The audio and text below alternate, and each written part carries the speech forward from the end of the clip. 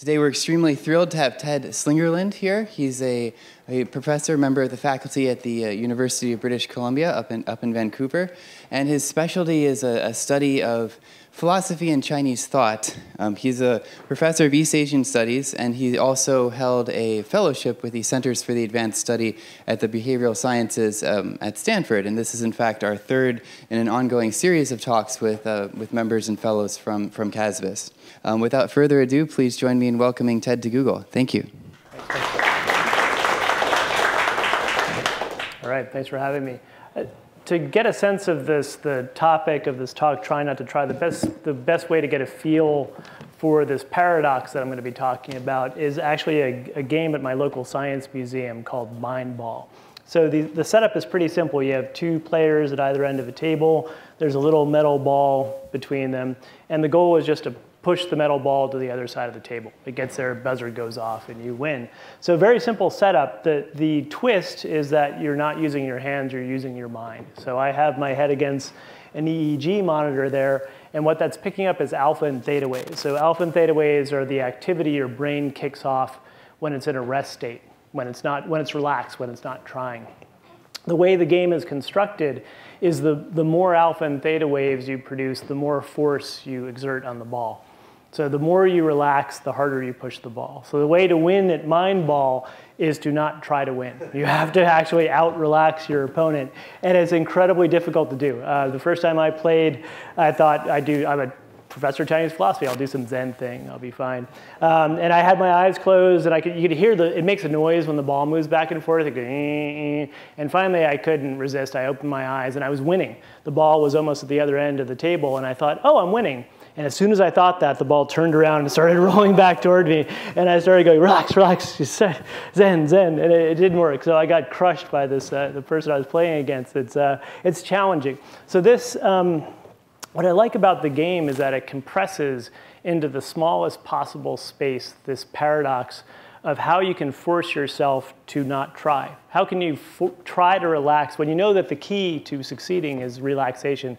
How do you use your conscious mind to shut your conscious mind down? So it's really, it's a great way of getting a sense of the paradox. Now this tension, this, this mind ball problem, is something that you see throughout life. In certain sub-communities, in our culture are aware of this. So athletes know that they're at their best when they're in the zone, when they're relaxed, they're not thinking about what they're doing, they're just playing their game, and they worry a lot about falling out of the zone because once you fall out, it's very, it's like the mind ball problem. It's very hard to get yourself back in again. Uh, performers, so people, musicians, actors, are also very aware of this. They know they're at their best when they're absorbed, they're not thinking too much about what they're doing, and, and they also worry very much about the choking, about falling out of the zone. So there's, there are certain sub-communities who are aware of this, this, the power of spontaneity and the problems involved in being spontaneous. But what we don't recognize, I think, as widely is that this is a tension we all experience. So we, even if we're not athletes or performers, we experience this tension on a regular basis. So a good example is insomnia. So you have an important meeting the next day. You know that you need to be well rested. You know that you're tired. Uh, if you could just shut your mind down, you know you would fall asleep. But how do you shut your mind down? How do you use your mind to shut your mind down? You think about social situations. So uh, job interview or a first date, the best advice you can get is relax. People say that to you, right? Relax, be yourself.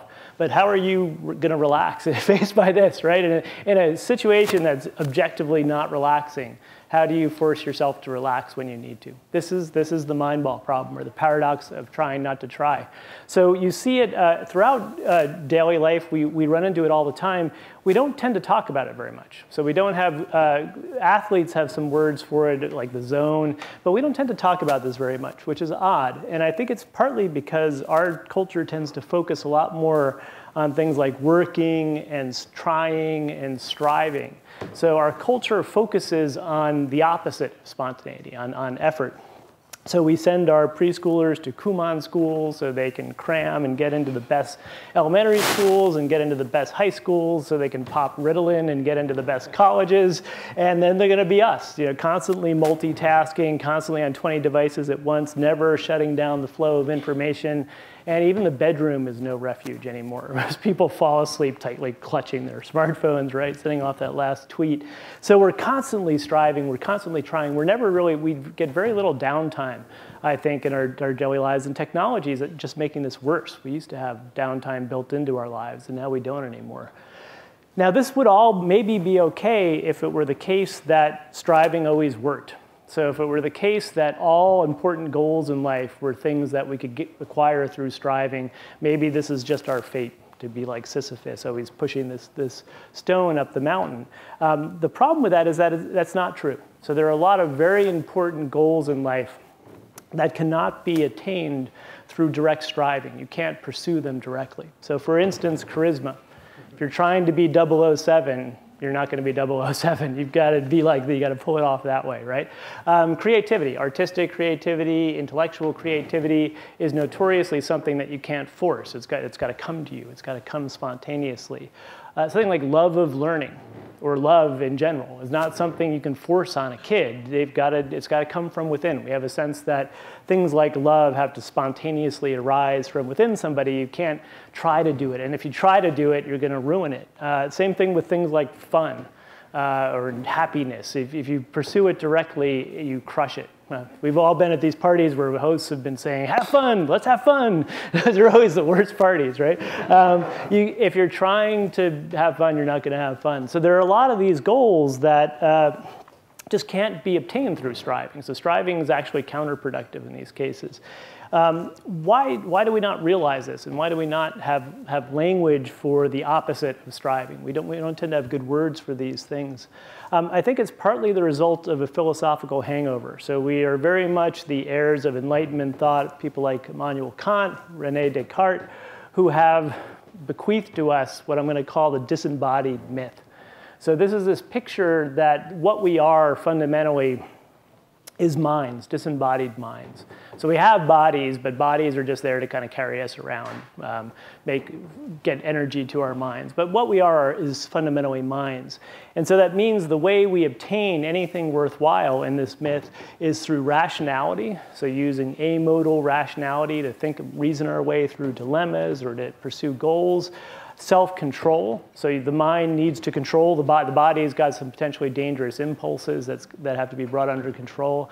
And it's all about conscious effort. So anything worthwhile in this model is obtained through conscious effort in these three things. Now the reason I call this the myth disembodied myth is it's pretty clear that this is not accurate from a cognitive scientific perspective. Um, so the so-called embodied cognition movement in cognitive science has been arguing for a long time, there's fairly good consensus, that we are, we're not brains in a vat, we're not disembodied minds, we're embodied. The way in which we think is inextricably tied up with our embodiment. So that means that we think in metaphors, we think in images. And these are not just turns of phrase, we actually really are thinking in imagistic terms. We think with our body. A lot of our knowledge is tacit. A lot of our most important knowledge is not something explicit or conscious. It's, it's something that we've built into our body, our bodily knowledge, essentially. And this whole body-mind complex that we are was designed by evolution for doing things, for moving through the world in an effective way, not for thinking, not for abstract thinking. We're capable of abstract thinking, but it's not really what we're built for. So we are integrated mind-body systems. Now, given that, why, where did the disembodied myth come from? So why did it arise? Why is it appealing to people? It must have some appeal because it's lasted for a long time. The source of the disembodied myth despite our embodied nature, is this experience we do have of being split. So we often experience a kind of tension within ourselves. We say things like, I had to drag myself out of bed this morning. Who's dragging whom, right? There's only one person there. Who's in the bed? Who's doing the dragging? I had to hold my tongue.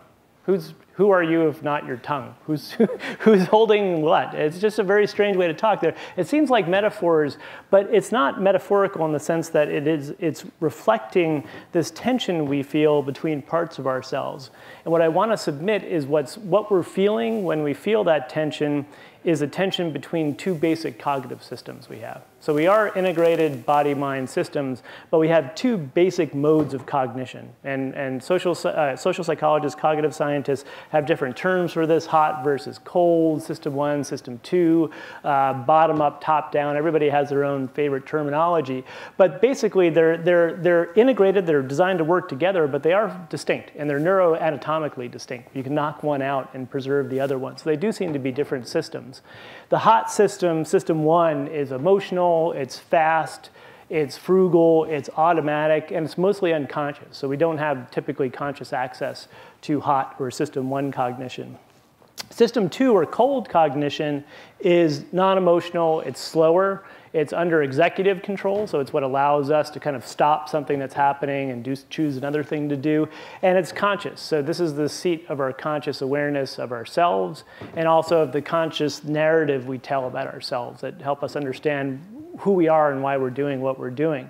So I think what we're feeling when we feel this kind of tension is, is essentially uh, the body-mind dualism, this idea that there's a tension between the two, falls out of the two-system nature of our minds. We tend to associate with system two. That's us. So when we, we have to drag ourselves out of bed in the morning, it's system two that knows we have an important meeting that's struggling with system one, the, the bodily systems that, that want to stay asleep, that are enjoying being asleep. Um, so this explains why, why this tension arises, why it seems intuitive to us. It also, I think, explains why trying not to try is a real paradox. When I'm sitting there, when I see that metal ball rolling back toward me and I say, stop thinking, relax, the part of my mind that I'm using is the part that needs to be shut down. The, the part of mind that you're accessing when you are consciously trying to relax or stop thinking, you're activating the very thing that you need to deactivate. So this, is the two uh, system uh, model of the mind explains why the paradox is a real paradox. It is a, is a genuine uh, cognitive paradox. You need to get around it somehow indirectly. Now that said, it's a real paradox. We do need to get around it somehow because if we want to access the power of our hot systems, our embodied cognition, we need to figure out ways to get around this paradox of trying not to try. And this is where I find early Chinese philosophy, my basic specialty, very helpful because the what I'd sometimes call the mainstream thinkers in early China, the Taoists and Confucians, actually embraced an embodied model of the self. So they didn't see us as, as split fundamentally between body and mind in some really strong way.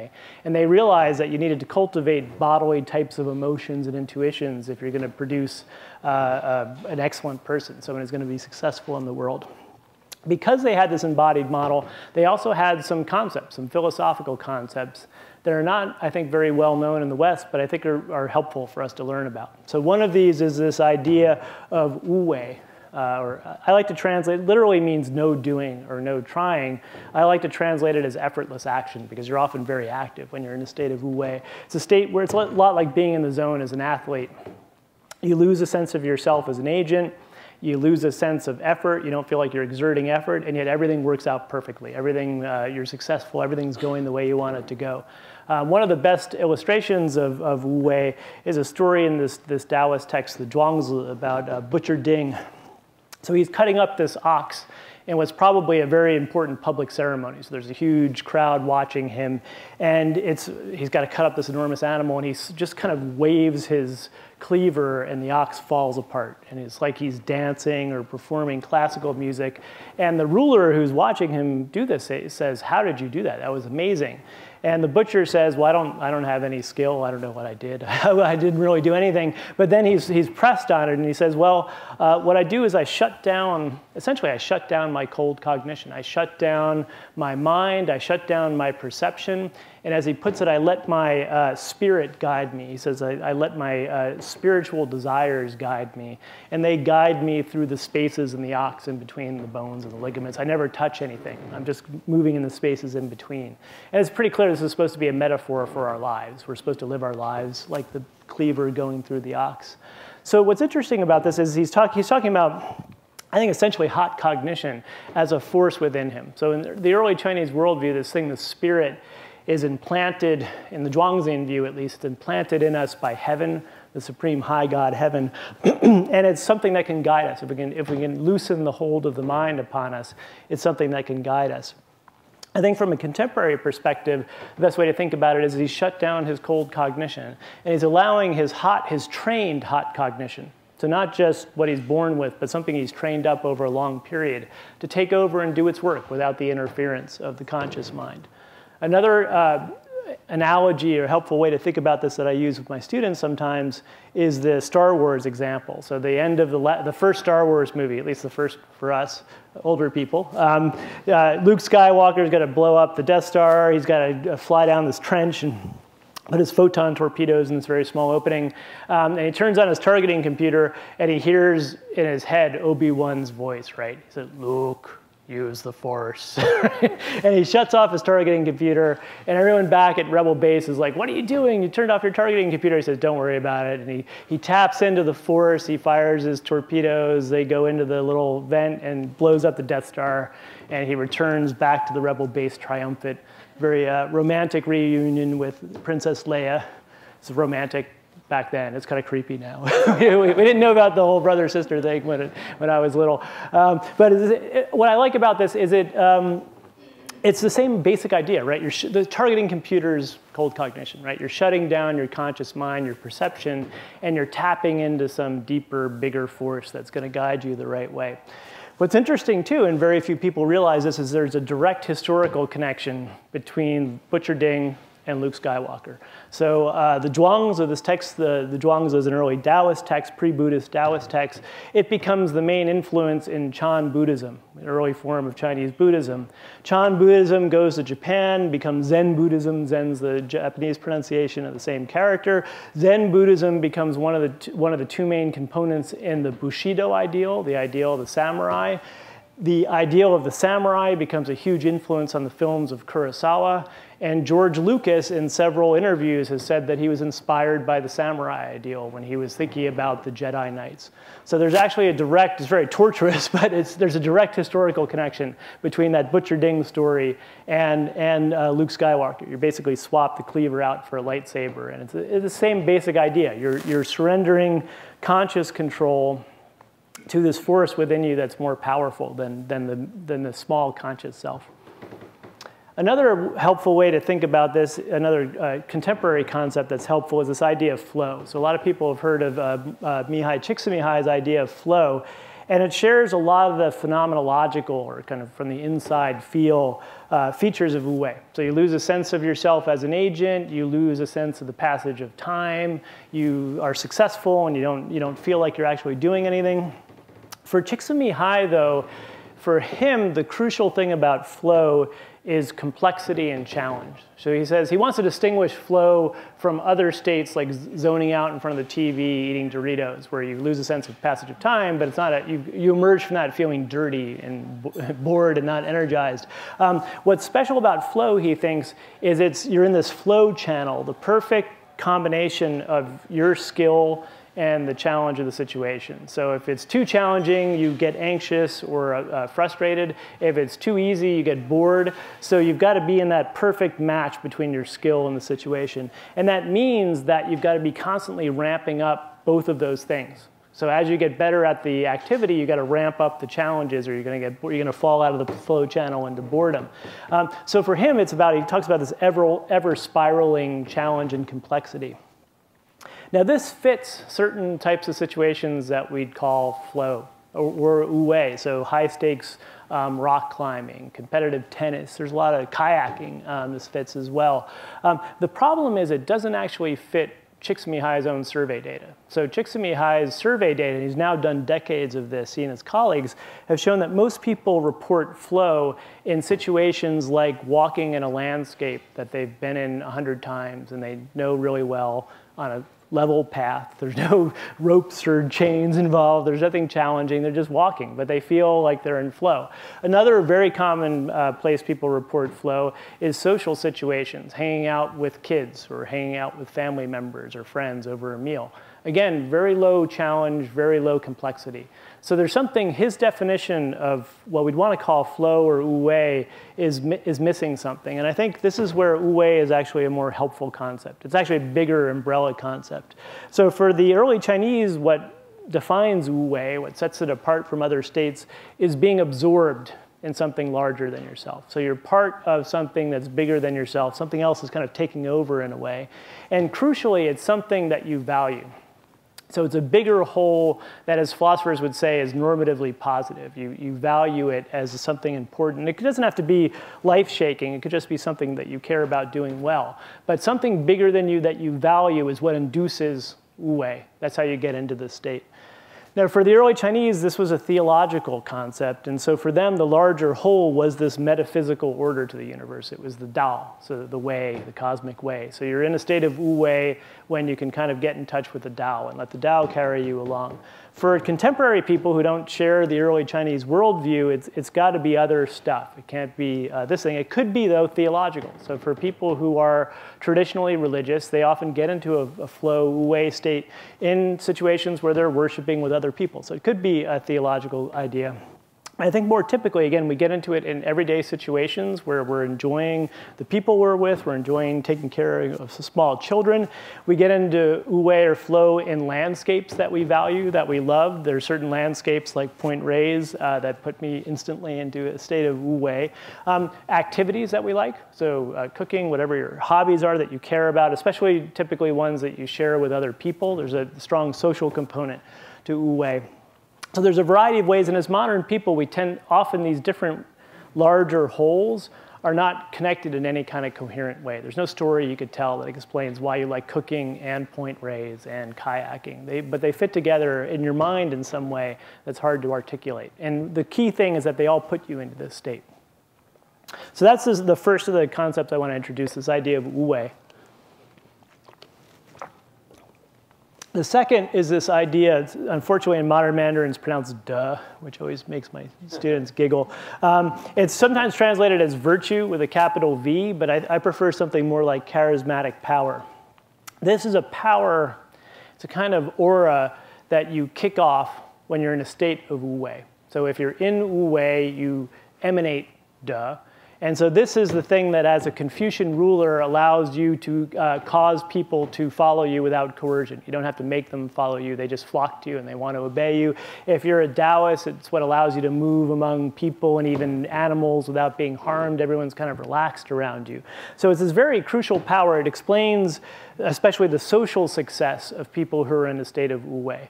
Now, again, for the early Chinese, the connection is explained in theological terms. So when you're in a state of wu wei, you're in harmony with heaven. Heaven likes you because you're doing what heaven wants. And so heaven gives you this power as a way, it's kind of like a star on your forehead saying this person's okay, follow, do them, follow what they say or don't hurt them. Um, so it's, a, it's connected theologically. I think, again, we could tell a kind of modern, updated, naturalized version of this story where we see the connection between wu wei and duh in cognitive terms, in, in uh, cognitive scientific terms. Uh, but doing this is going to be a little bit more complicated than the, the wu story alone, and we have to go all the way back to the Pleistocene to explain this. So we've spent, human beings have spent most of our evolutionary history in small hunter-gatherer bands. So in, in our, just like our primate ancestors. So bands where we kind of, we knew, we were related to or we knew most of the people we were interacting with. And then in an evolutionary blink of an eye, I mean, agriculture was super recent if you have a long time view of, on the level of species. We start living in these large scale societies. So agricultural societies where we're, we're interacting with strangers all the time. We're having to coordinate with massive numbers of people way beyond what we ever had to do in our evolutionary history. And it's a very successful strategy. So 99.9% of the people living today are living in large scale societies of one kind or another. So very successful strategy there's a bit of a mystery of, about how we pull it off. Because going from a small scale village or hunter gatherer life to large scale societies involves various cooperation dilemmas that we're not equipped biologically to deal with. We haven't had time to evolve to deal with these things. So there's got to be some kind of two new mechanisms going on that help us get through some of these cooperation dilemmas. There's a variety of them. The one that I want to focus on is one identified by the Cornell uh, economist Robert Frank. So he's talked a lot about this idea of uh, the emotions as having a kind of rational function in human cooperation dilemmas, and particularly in dilemmas that he, he, talks about as commitment dilemmas. So these are situations where you have a cooperation situation that can only be solved by some kind of emotional commitment between people. The classic example is the prisoner's dilemma. And actually, right now at uh, the Exploratorium in San Francisco, they have an exhibit on social cognition, and that you can do the prisoner's dilemma. You can play it in various uh, iterations. So it's fun. I'd, I'd, recommend seeing this display. The, the classic setup in the prisoner's dilemma you have two prisoners are being held separately. They've done something. They've done a crime. They, they're, both, they're guilty, and yet the DA doesn't have enough evidence. He doesn't have a very good case against them. And so they, they are offered a deal. So one thing they could do is if they both just shut up, they'll get very little jail time. They'll, they'll, both go to jail for a month because they don't have a very good case against them. But they're being offered a deal where if they, they rat on the other person, they get off scot free. Then the other person has to go to jail for a full year. That's the deal that's being offered. Now, the problem in the prisoner's dilemma, they're being held separately. They can't communicate. Even if they could communicate, they'd have no way to enforce any kind of agreement they came to. The only rational decision in prisoners' dilemmas is to confess and betray, to defect, as economists say.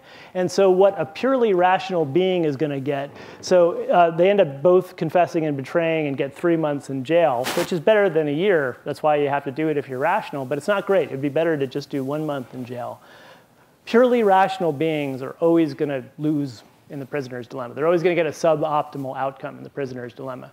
What's interesting is that human beings, Vulcans can't solve the prisoner's dilemma. Uh, humans can, and the way humans do it, so we often solve prisoners' dilemmas, and there's multiple forms of this in, in everyday life, um, through things like trust or honor. So why do uh, gang members not betray each other? Because they have honor. They're not going to betray their fellow gang member. Um, these are emotions, and the, the emotions are basically, this is Frank's argument, I think he's right about this. The emotions are pre-binding us. They're forcing us into uh, honoring an agreement even when it becomes not rational to honor it, when it becomes uh, against our self-interest to honor it. One way to think of this, I think that's helpful, is the myth of Odysseus. So he knows that when he sails, he wants to hear the sirens, but he knows the future Odysseus is not going to be able to resist the sirens when he hears the siren call. So he has his sailors tie him to the mast and put wax in their ears so they don't hear the sirens.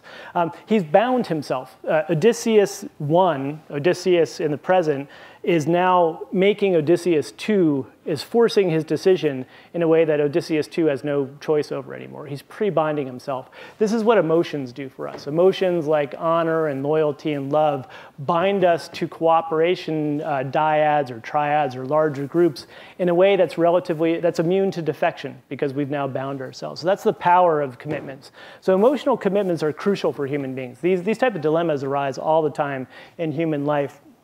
There's a, there's a problem with these, though. There's, a, there's an issue with emotional commitments. And that's the, really the best strategy if, if you have commitment things going on, is to be able to fake commitments. Is to have your sailors tie you to the mast, but it's not tied very tightly. You can get out of it if you want to. Um, that's, that would be ideal. So there's going to be pressure on people to cheat to fake commitments because then they get all the benefits of the commitment interaction without paying any of the costs. And you're going to also express, uh, expect a kind of evolutionary arms race where people are going to get better at detecting people who are faking commitments. You're going to expect this, this to get ramped up. And so the worry in commitment uh, interactions is hypocrisy. So people faking the commitment to get the benefits. The solution, or at least partial solution, involves signaling of various kinds. And so this idea of signaling, one of the, the most helpful ways to think of it is in the non-human animal world, costly signaling. So this is an idea that developed when people were trying to explain things like gazelles. So when a gazelle is approached on the savannah by a predator, instead of running away right away, it stops. It just jumps up and down in place. It's the weirdest thing you've ever seen. You're just like, what's the matter with you? There's a lion, run. but they don't. And the argument, and it seems to be the case, is that it, this is a signal. The, the gazelle is saying, look how high I can jump. Don't try to chase me because you won't catch me. And you'll waste time, I'll waste time. So why don't you go find a weaker gazelle who can't stop like I can, and I'm going to keep eating my grass and win-win situation. And this really seems to be what happens. Lions like, yeah, you're right, I can't catch you, and they go off and find another gazelle. Everyone wins. It only works though because it's inherently unfakeable. If you didn't have strong legs, you couldn't stop. You couldn't jump that high. So there are these kind of unfakeable signals in, in the animal world. In human beings, there's a kind of equivalent in these relatively unfakeable signals that we kick off in, in emotional displays and facial displays. Um, so the classic example is the, um, these must have been European researchers. So there, here's the pan-American smile, the superficial way American smile. Um, this is uh, a system two smile. You're, this is consciously willed. You're using your conscious uh, mind to make this smile. This is the so-called Duchenne smile. That's a sincere smile. That's hot cognition. It's different muscle systems in the face, and they're run by the different systems. One's run by system two, one's run by system one. So what we're looking for when we're evaluating someone who says that they're loyal, that's, who says that they honor the gang and they always want to be a member of our gang, we want to see this. We want to see something like the Duchenne smile. We want to see a facial expression that reflects a lack of cognitive effort. So we, we, we trust and we tend to uh, willingly engage in commitment situations with people who are not kicking off signs of cognitive control. So I think that's, that's a kind of signaling that human beings do with one another. And I think this explains the connection between trust and spontaneity, basically between wu wei and de, is that when we see people who, don't, who seem to be sincere, they don't seem to be making effort, we like them, we trust them, we want to follow them. We wish they would run for president, right? This is, the, this is basically human beings using the mind ball paradox as a social signal. We're taking advantage of the fact that you can't force spontaneity to use it as a relatively honest signal. At least unless someone's a really good faker, we're going to use it as an honest signal. And this then explains the connection between wu wei and de in a naturalistic way. You don't have to tell the story about heaven giving to you as a power. It's that we trust people who are not kicking off signs of cognitive control. And there's a, I, there's a whole bunch of evidence, I look at some of it in the book, that people who are spontaneous behave properly. They cooperate better. And as soon as you give people time to think, then they start cheating. they start getting more selfish. The default strategy for most people in large-scale societies, at least, is to cooperate.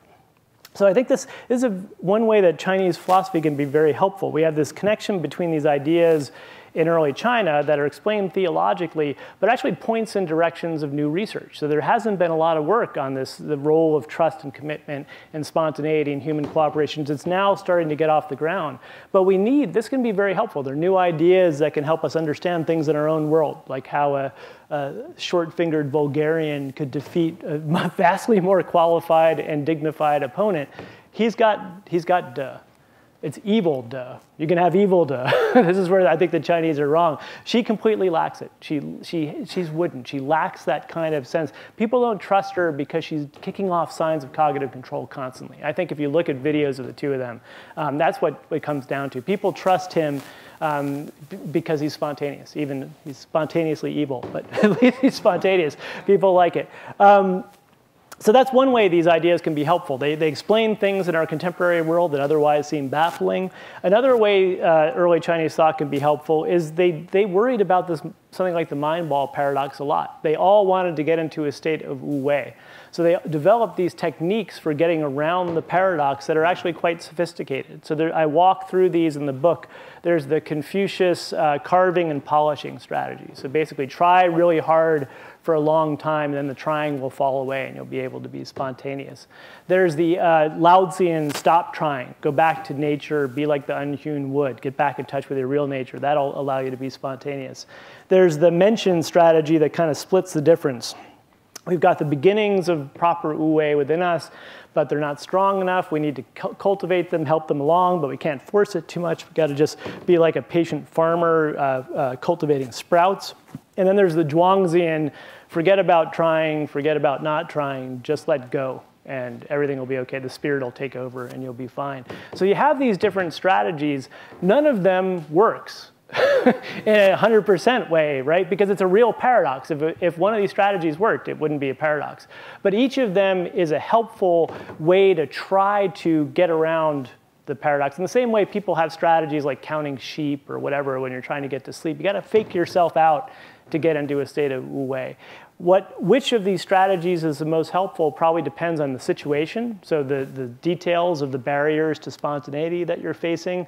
Life stage, So carving and polishing is, I think, clearly more important when you're younger. You just don't have the properly trained hot cognition yet to, to trust your hot cognition. Um, and probably personality type. So what's appropriate for an introvert may not be appropriate for an extrovert. There may be kind of innate differences in, in which, which strategy works the best for people. But I think there's something very helpful about having at your disposal a toolbox of different strategies that you can pick from depending upon the situation. So I think that's an important thing. Another important thing is just having these words, expanding our vocabulary. So I've found that people who know me or read my work start using wu all the time. You're not being very wu about this. Why don't you try to be a little more wu Come on, man. Um, she has no de. I said this to people watching uh, tapes, you know, Hillary Clinton deliver speeches like that woman has no de. Um, you, we start, people start using these terms. And I think this, this, what this reflects is a, is a cognitive conceptual gap in the English language. So in the same way that we adopted the word Schadenfreude from German because we feel Schadenfreude, we just didn't have a word for it. I think these, these words, words matter. Words help us focus on aspects of existence that we maybe don't pay enough attention to because we don't have a word for it. We don't necessarily identify it and single it out. So I think that's helpful. Another helpful thing is just the, the role of trust. So we tend to uh, focus, I think, too much on contracts and explicit agreements and rules and miss the fact that most human interactions, whether in the workspace or in larger society, are about, about commitments. So it's, it focuses, looking at the spontaneity trust connection makes you think more about the fact that human interactions are about commitments and not contracts. It's about emotional ties people have. So that's another helpful thing. Um, just specific policy things, don't underestimate the power of alcohol. So this is going to be this is going to be the next uh, book topic. But uh, you know, alcohol is a is a is a very fast way to deactivate your system two, at least temporarily. Um, I I think that in the workplace right now you have a problem where you know people are having dry holiday parties and discouraging people from going out drinking after work, and what they're worried about is that right? And that can happen at, at office parties. So they're, they're weighing the potential for this kind of disaster against what? People having fun. So it seems like the math is, is a no-brainer. You just don't do it. I think they're missing the point that the, when, you, when you don't give people this cultural tool, it's a cultural tool we've developed, you, you uh, make them less able to form commitment ties to one another. So there's something about human beings for millennia have been poisoning themselves, taking perfectly good foodstuffs and turning them into poison for some reason. And it's because it helps people get past cooperation dilemmas by temporarily down-regulating our defenses, our, our cognitive control. Um, so I think that when you know, we shake hands, when you shake hands with someone, you're basically saying, look, I don't have a weapon in my dominant hand, so I'm not trying to fool you or hurt you. Um, you do a couple shots with someone, you're basically taking your prefrontal cortex out and putting it on the table and saying, look, no cognitive control. Um, so what I say is really what I think. Uh, you can trust me. And this is a reason why, you know, when, when Skype was invented, everyone's like, oh, well, people stop traveling for work, because why would you travel, fly to Shanghai if you can Skype with people there? People still fly to Shanghai. And that's because people don't trust other people unless they sit in a room with them and typically share a meal and, and typically get a little bit wasted with them. Because there's a sense that when you see someone in that kind of context, you get a, and they're also, you're reading body signals, you're getting all this incredibly uh, thick bandwidth of, of, information in person that you don't get over Skype or the phone. Um, so that's, uh, that's an important insight. And so the Chinese sometimes use drunkenness as a metaphor for wu wei. Uh, and there's something to that. It's, it's, a, it's a shortcut to down-regulating uh, your mind. And there is some evidence also of the, you know, there's this uh, idea that artists have long had about the muse, that, you know, you, intoxication uh, causes creativity to happen. And there's some evidence for that. So uh, you get people mildly drunk in the lab, and they do better at creativity tasks. You can't get them too drunk, then they get bad again. but there's a sweet spot where they're really good. Um, I presented on this uh, years ago when the book came out at the Google campus in Irvine, and the first person who raised their hand was Ballmer Peak. so I looked into the Ballmer Peak. Apparently, there's a very narrow blood alcohol concentration where you guys code a lot better. That's the theory. Um, and afterwards, they took me to their wall of scotch. They have a room of scotch down there. I don't know if you guys are that cool, but they have an amazing room of scotch. Um, and I think what's interesting about that is you see, I think uh, places like Google have realized that if your, your business model is predicated on creativity and making breakthroughs and figuring stuff out, Um, making people just sit in front of the screen for a certain number of hours a day is not going to get you that. The, the, striving, striving, striving doesn't work. And so these guys told me, they said, you know, we're facing a conceptual problem. We go to the scotch room and have a little bit of scotch, and then we play some ping pong, and then eventually we, we figure things out. You need to create space for creativity to happen. You can't force creativity directly uh, by make, chaining someone to a desk until they come up with an idea. Um, so that's important, uh, workplace design and kind of work culture. And at the most abstract level, embodied cognition. So if you take things like Wu Wei seriously, you take seriously the fact that we have embodied ways of being in the world that are very powerful and very important. Abstract knowledge alone is not enough. You can have abstract knowledge and not be good at things. You need to train imagination. So when you educate kids, you need to train them how to problem solve and how to think, not just a, a set of facts about the world. Um, and I think this is something we're terrible at right now, is you got to create space for your unconscious to do its work, for your body to do its work. So right now we bombard ourselves with constant information. We never have time to actually integrate the information that we already have. So you need to create space for Wu Wei to happen. You have to go walk for walks in the mountains. Um, you have to let your mind wander a little bit. Um, you could do this through physical activities, so things that distract your mind uh, from itself because you're doing something with your body. Um, and also, I think crucially, you got to sleep. so the people who are striving oriented tend to view sleep as just this horrible waste of time. How can we minimize that wasted time? It's not wasted time. Uh, when you're sleeping, you're doing important work. You're pruning neural connections, you're integrating the knowledge you acquired during the day. It's a very good example of something that looks like you're doing nothing, but you're doing a lot. Um, and people who don't get enough sleep just don't have a good enough integration of the knowledge they've been acquiring during the day. So we need to build more space into our lives in a way we don't have enough, I think. So um, when the book came out, it was originally marketed as a self-help book, which I advised against. And what happened is exactly what I predicted. People who bought it as a self-help book were pissed off because they thought there'd be 10 steps to being a Zen master and they could just follow the 10 steps, it'd be fine. Um, the fortune cookie is empty. There's no, the early Chinese don't have any kind of magic formula for how to attain Wu Wei. Um, so it's not helpful directly in that kind of self-helpy way. Where it is, I think, helpful is by focusing our attention on the importance of embodied cognition, uh, the imagination, the importance of trusting our body in certain situations, and crucially also getting us to see how this spontaneity is linked to trust and how spontaneity is really at the center of human success in a, in a lot of areas of our lives. So thank you.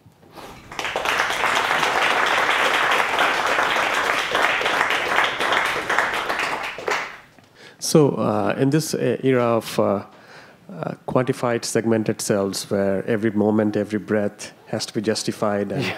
time cards and uh, you know, we are, we are quantifying ourselves in so many ways, number of steps, number of breaths, number of heartbeats, yeah. all of that.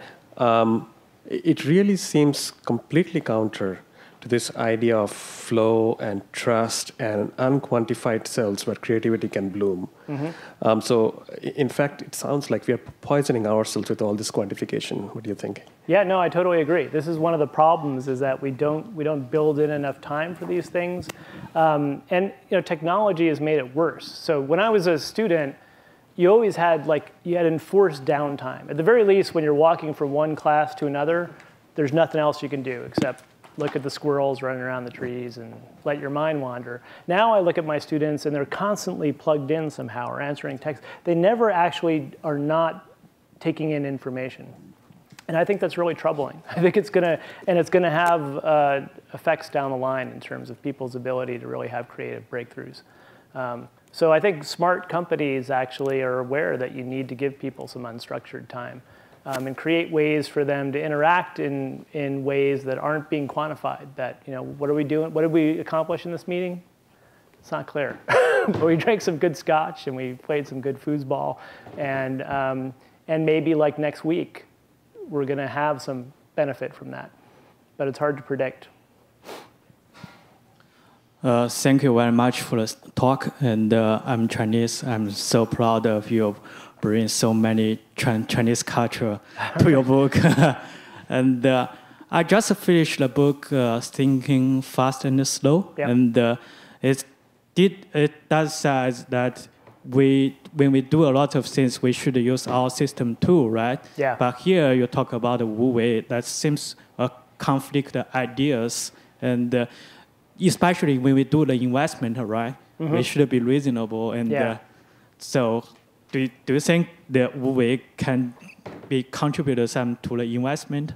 Yeah, oh, to the investment? Yeah, that's a good question. So that's, that's an important point. So Kahneman's book, which I flashed briefly up there, Thinking Fast and Slow, the work that he's done on two-system thought is how system one's dangerous. and you need to guard against system one and actually use system two. And the situations, and he's right about that, we're subject to all these kind of uh, errors of thinking when we're trusting our system one. And that really has to do with a mismatch between our evolved cognition and the structure of modern life. We're just not built to reason about investment. We're not built to reason about climate change, right? Climate change is such a big thing. We just don't deal with causality well intuitively on that level. And that's where we either have to use system two. And so, I mean, system two, so I've been emphasizing the, power of system one partly as a corrective. Obviously, system two is crucial. There's a reason we evolved it. It's super expensive physiologically, so we wouldn't have it if it was really important. Um, so in situations like climate change, um, investment, you either need to switch into system two to do it right, and he's, you know, Kahneman's focused most on, on that, on correcting your intuitions, um, or you need to figure out a way to make your system one do the things that system two wants it to do. And so that's where I think things like, you know, Al Gore um, doesn't just give you the stats. He shows you a polar bear drowning in the Arctic because there's no more ice. Um, you got to make the, the you can take system two insights and build them into your system one. And that's actually, so the Confucian self-cultivation strategy is interesting because the model seems to be, they have these insights using cold cognition. It's not what they're born with. Um, they, so for instance, Xunzi, this uh, late Warring States Confucian, he's got this passage where he talks about where did ritual, and by this he really means all of Confucian culture, where did it come from? And he says the sage king saw the state of nature, people were fighting with each other, it was chaotic, and they hated it. And so they seem to then switch into system two cognition and say, what would be the best way to distribute resources in a society? And so they're using cold cognition and what seems to be utilitarian reasoning. But Western philosophers would then stop there. And then they would say, well, let's teach everyone how to reason using utilitarianism. But they don't. They say, okay, now let's design rituals and music and things that will take that cold insight and build it into people's hot cognition so they can really actually do it reliably.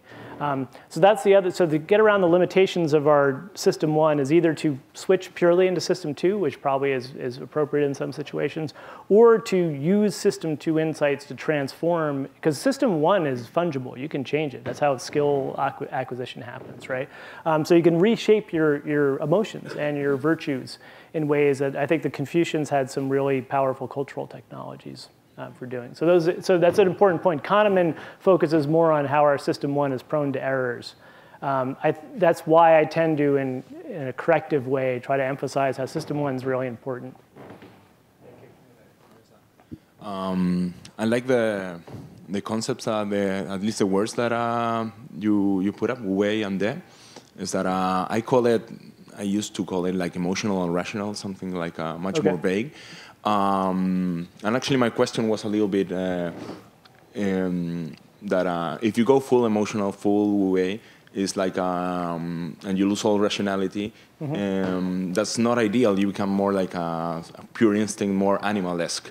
And uh, but on the other side, full um, rational system two. In this context, um, is just too dry. I mean, it's like um, it's not a healthy way to live, and, and mm-hmm. eventually mm-hmm. it grinds out way too much. Uh, so everyone, I guess, has to find like their their middle in between, like uh, where to use uh, system two, where to use system one, and the idea is to flow as much as possible. But you're right that uh, we have to be able to. Uh, to actually detect one system when the intuition is just wrong. I mean, mm-hmm. um, well, also, it's also important to realize that, that system one is not fixed. System one can oh, get oh, yeah. reshaped in a variety of ways. So we're not just stuck with the system one that we had when we were four year olds. But I think one of the problems is that uh, when we consciously try to change our system one yeah. in ways that uh, are actually not natural to us. Mm-hmm. You know, when we try when we try to like outforce thyself. And I don't know. It's just uh, it's just a, a, comment. I don't really have a question about. Yeah, you, you, need to work. So that's where the Mencian. I like the Mencian model a lot because he's saying we got to change our system one. We need. We just have these sprouts. We need to make them grow into full-grown virtues. But you can't force it. You can't. He has a story about a farmer who goes out and pulls in his sprouts to try to make them grow faster mm. and kills them. So you can't be like the Mohist utilitarians who want to pull on their sprouts. But you also can't be lazy and sit around and not water or weed at all. You got to do something. So the important thing to realize is that none of, none of the early Chinese thinkers really think we're okay at birth. Even the most radical, so people like Lao Tzu, who says, let's go back to our original nature, um, he, he's writing this. So the people he's talking to are already messed up. so they need to go back to something that is that's a kind of manufactured nature that um, you know he's imagining is what our true nature is. So I think all of these things no one thinks that we want to have the hot cognition we had when we were four-year-olds. Um, toddlers are not a model of how we want to behave. So the, the trick then is how much shaping is appropriate and how much cold cognition is appropriate. And that's where the splits between, for instance, the Taoists and Confucians arise. The, the Taoists think the Confucians are overdoing it and turning us into robots. And the Confucians think that the Taoists are kind of lazy um, children who don't, don't understand civilized life. And, and the two play off each other. I mean, I don't think uh, the Tao Te Ching or the Zhuangzi make sense except as kind of protest movements against this kind of excessive training, what they see as excessive training. So there's a balance you need to strike. And the fact that none of these schools ever really wins out in early China suggests that there's no right answer. Um, there's no right way to get that balance. So you mentioned ways in which technology makes the problem worse. Yeah. Uh, do you see any ways in which technology helps or can help? Um, yeah. I mean, I'm looking forward to self-driving cars. I'm looking forward to a, a, time when you could actually use commute time instead of being, again, drowned by too much information and people merging and worrying about traffic, um, to having, to create, opening up new spaces for daydreaming and just looking out the window and thinking about things. So there could be ways um, that technology can help. Um, technology can also help just by making us more efficient when we are exerting effort so that we create more time to be off. The problem is that's not actually what happens, right? We're more efficient and we just keep doing that, right? So um, if it was, you know, back in when I was in grad school, you still had to write letters to people, you know. So if I wanted to correspond with a European colleague, you'd write a letter and on that funny thin paper and you'd mail it and you have to wait, you know, a month or two and come back. Um, now I can email them, so that's more efficient. But all it means is that I now interact with a lot more people and I have a lot more work to do. So that's the problem, is that technology, I think, in theory could help, but it just seems to be human nature that we, we overdo things and we tend to just not know when to stop. Um, but I think that that's something that needs to be thought about, is how to use technology not just to increase our efficiency at work, but to use that then to buy us time to, to have that downtime, to allow our embodied cognition to do its thing. So I can personally re- relate to the idea of uh, not trying too hard to be good at something. And uh, thanks for sharing that. The one thing I thought you didn't talk about at all was practice. Mm-hmm. I cannot be good at anything just by not trying too hard at it. I yeah. have to practice for it deliberately before I stop thinking about it, and then I'm going to be good. Yep. So that's uh, the that was kind of my point with the life stage thing. Um, you can't sit down. So if I sat down at a piano, I don't know how to play the piano. If I sat down and tried to solo, or I would sound ridiculous. It would sound stupid. I have a brother-in-law in Rome who's a jazz pianist um, who does that. He'll sit down at a piano and just noodle around. It sounds amazing. He has, an he has a, a song called "I'll Be Bach," where he takes Bach and then does weird things to it. He starts playing it faster, slower. He starts adding stuff, puts things in the piano. Um, it sounds cool, but only because he knows how to play Bach, because he's trained his whole life to be a musician. So in the, in the Butcher Ding story, he also talks about how I've, well, why can I do this? I trained for 19 years as a butcher, and that's why I'm able to do that. So that's what I mean. None of this stuff, it's always against the background of training. And obviously, in the earlier stages, the carving and polishing is more important. You can't solo until you learn how to master the thing.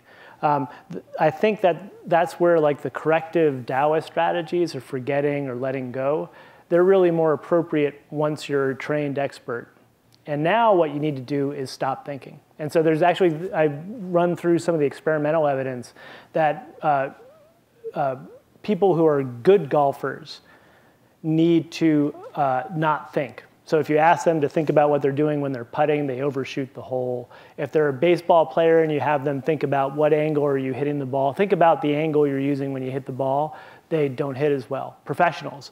But novices do better when they think. So they need to pay attention. And so obviously which one, whether you're focusing on trying or not trying, depends on where you are in that skill development training um, per, uh, course, of, course of knowledge acquisition. So you're absolutely right. I didn't emphasize the training thing so much, but all of this is against the background of the fact that none of the hot cognition that we, we value, very little of it, is inborn. It needs to be acquired, it needs to be trained. But once you have the training, you need to know when to let your training go. Thanks.